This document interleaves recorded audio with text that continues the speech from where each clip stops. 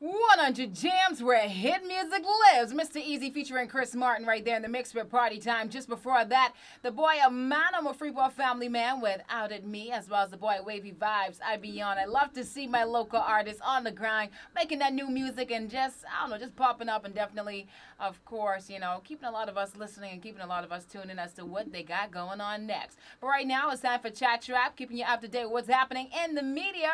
And Chat Trap is brought to you by Easy Payday Loans and Easy Payday Loans knows life gets a bit hard sometimes, but they are making it easier for you to receive financial help in under an hour. You can apply online anytime and anywhere. Just start your own application on Easy Payday Loans website. Just grab your phone and log on to www.easypayday.loans. Let's jump right into it, talking about what gone on yesterday with Floyd Mayweather. So at the age of 44 years old, Floyd Mayweather is getting ready to hit the ring again against Logan Paul. But yesterday at the news conference for the fight, Logan Paul's brother, who is a YouTube star and boxer, Jake Paul, had gotten into a heated argument with Floyd Mayweather. I'm not sure if you saw the video circulating all on social media, and you could see how heated Floyd Mayweather was because Jake Paul thought it was a good idea to snatch Floyd's hat. And he actually recorded a video before he decide to snatch the hat and say that he was going to do it. He was going to snatch Floyd's hat, and then he's going to basically say, uh, record another video and say how it went. Like I said, he's a YouTube star, so I guess he thought that was interesting to do. But therefore, um, he's saying that it went as planned, but I don't think it really did go as planned for him. But of course, you know, it was definitely not a good idea. Floyd felt super disrespected. But it's just the fact that why would you go ahead and do that? It was um, it was very immature, and a lot of persons definitely did comment on that. But yeah, I'm just saying, a lot of persons right now are thinking that it was all planned. Well, basically, it was like a marketing stunt for the Paul brothers. But Floyd Mayweather, he really didn't like it. And of course, you know, Jake Paul did end up getting really roughed up if you saw the fight.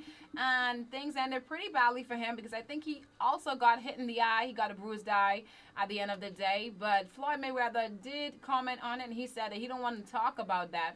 What he's going to do, the world knows what he's going to do. And he said that he's willing to fight both brothers in the same night if that's how they want to do it.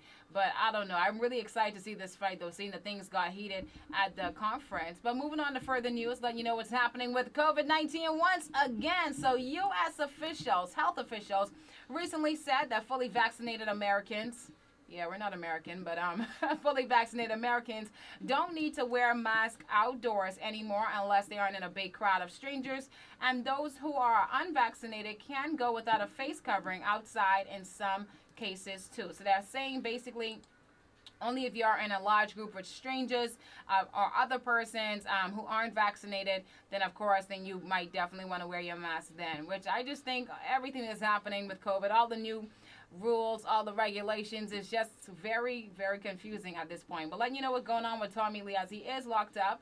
Um, Tommy Lee, as he went viral this week over an alleged video of him being in prison, getting his hair braided by another male who appears, of course, be an inmate. And a lot of persons found this very strange. And you can still find the video online. I actually just recently watched it again. And yeah, I mean, come on, who else is going to braid us here? I'm just saying, who else is going to do it? Ain't no females in jail. So, uh, of course, a guy is going to end up doing it. But of course, Tommy Lee came out and he's just proving to everyone that being in jail is really no different than if he was on the road. Of course, uh, I don't know what's going on with that, but a lot of people are talking about it, so I just think it's it's okay. He's in jail, people. Who else is going to be in there? But anyhow, that's it for Chat Trap. Let you know what's happening in the media, and remember the Chat Trap is brought to you by Easy Payday Loans, helping you out during these difficult times. Easy Payday is giving you low fees and the most competitive rates on any loan you apply for. That's instant loans, auto loans, loan consolidation, and quick financial assistance. So refer a friend, and Easy Payday Loans will pay you. Easy Payday will give you $100 when you, as an existing client, refer a friend. Remember, terms and conditions do apply. All you gotta do is call or visit them today, 603-0200, or visit them at their new location on University Drive. Jumping back into the mix, says some remix, Moneybagg Yo, JT.